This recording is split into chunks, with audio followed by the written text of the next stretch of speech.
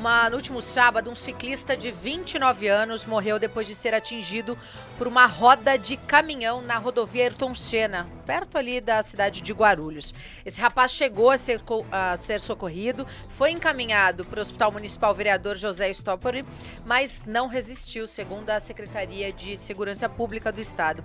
A instituição ainda informou que o motorista de caminhão passou pelo teste do bafômetro, que resultou negativo para ingestão de álcool, e o acidente também acabou ferindo outro homem que estava de bicicleta. Ele sobreviveu, contudo, não foi divulgado seu atual estado de saúde. Essa fatalidade ocorreu no período da manhã por volta das 6h50, que é o horário que o pessoal sai para andar de bicicleta, de acordo aí com informações da Agência de Transporte do Estado de São Paulo. Nós somos a maior rádio digital com jornalismo regional do Estado de São Paulo.